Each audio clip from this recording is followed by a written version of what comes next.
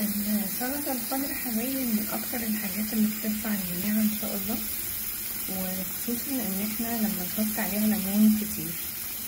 فالسلطة الخضراء النهاردة عندنا مكونة من بصل أخضر وخس وبقدونس وبردقوش كل دي حاجات خضراء وبعدين طماطم دي الحمراء والليمون بقى كتير.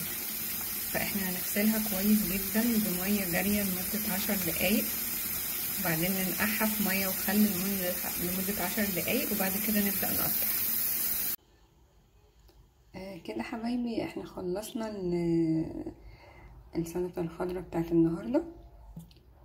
هي كانت عبارة عن خس وطماطم وبصل أخضر وبقدونس وبردقوش وعملنا التتبيلة ليمون كتير قوي وزيت زيتون وكمون وملح وفلفل. أهم حاجة إنه يبقى الليمون كتير قوي. طبق سلطة زي ده لو أنتوا عملتوه كل يوم إن شاء الله يعني يرفع لكم المناعه جامد جدا. كل واحد ياخد طبق حلو كده